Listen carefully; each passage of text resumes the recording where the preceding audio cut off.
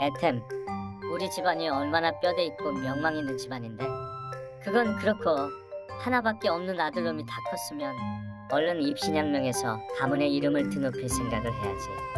허구한 날 집에만 있으니 원.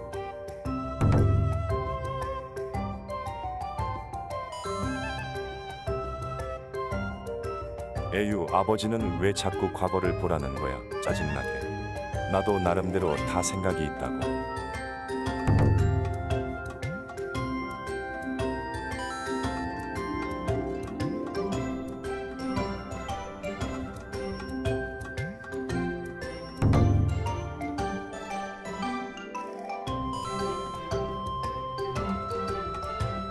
줄 타는 모습이 어쩜 저렇게 멋질까?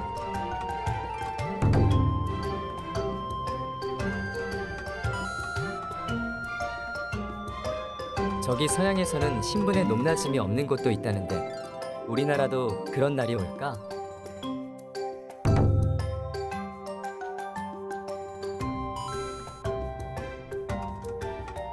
지금 오면 특별히 싸게 해줄게. 국밥 한 그릇 먹고 가.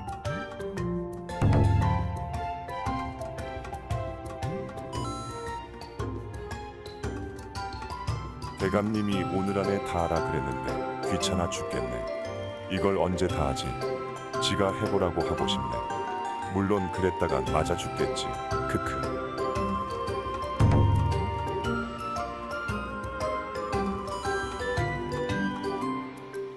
어머, 우리 돌쇠 일 잘하네. 쌀밥 좀 줘야겠다.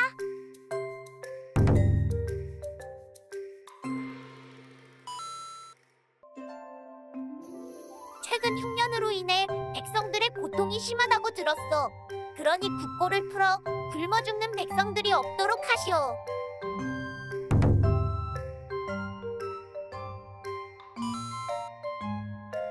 예 전하. 분부대로 시행하도록 하겠사옵니다. 전하라고 부르는 것도 오늘이 마지막이겠군. 오늘 밤 계획만 성공한다면 크크크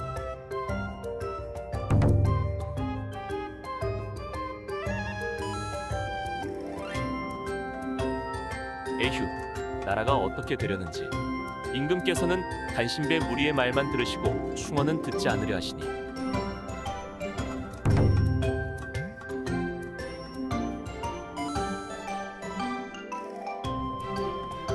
안녕하세요, 양반님. 좋은 물건 있는데 한번 보시렵니까? 이 물건으로 말할 것 같으면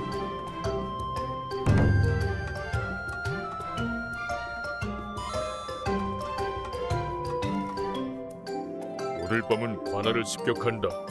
여기 고을의 사또는 백성들의 고열을 빨아 자신의 배를 불리는 파렴치한 놈이다. 오늘 우리가 하늘을 대신해서 천벌을 내릴 것이다.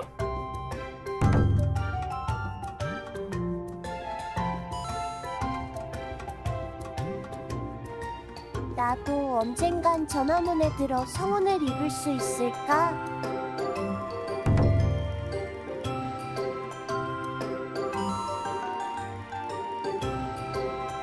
오랑캐놈들 그렇게 당해놓고는 또 쳐들어오는군.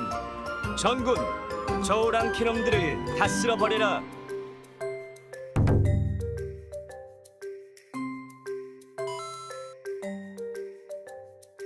분명히 오늘까지 외워오기로 약조하지 않았느냐. 해철이 맞을 준비는 돼 있겠지.